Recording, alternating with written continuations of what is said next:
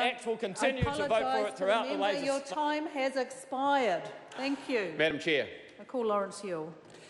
Madam Chair, the mere fact that this bill is called the Taxation Annual Rates 2018-19 Modernisation, Tax Administration and Remedial Matters Bill in itself, in itself highlights the point that actually there should be two bills. There should be two bills here, Madam Chair, because part of this bill is fantastic, and part of it we philosophically on this side of the House object to, and that is our right to do so. Because the good parts of this bill, Madam Chair, are changes that help taxpayers. They are changes that reduce compliance costs, the amount of time taken to complete taxation returns. They automate tax refunds, and something that I find particularly pleasing, they cut out third parties which at the moment have set up business models simply based on what IRD will soon be able to do.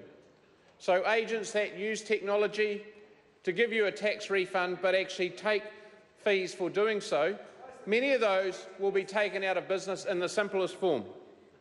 I also um, acknowledge the changes to the donations legislation.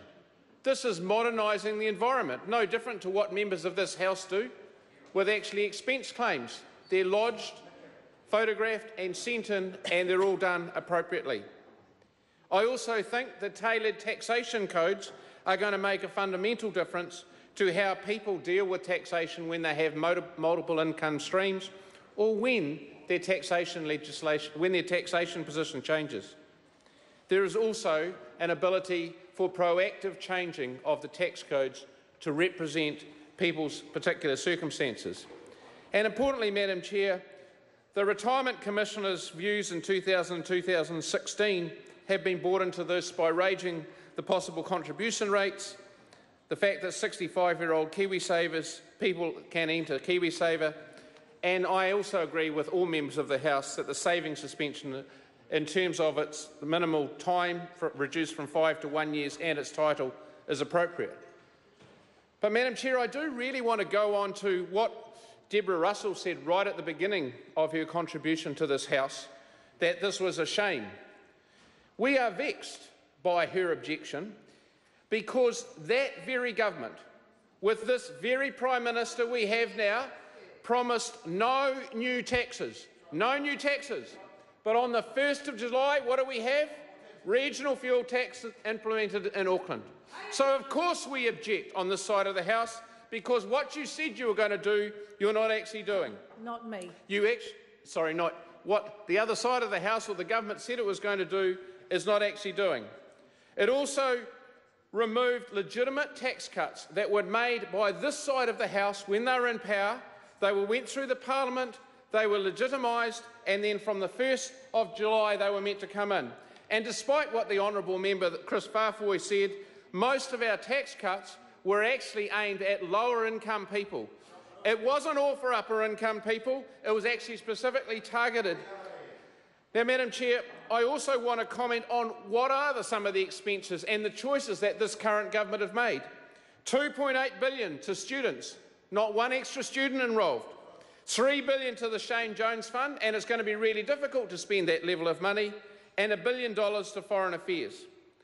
But I particularly want to comment because this is about tax rules and tax amounts for the coming year.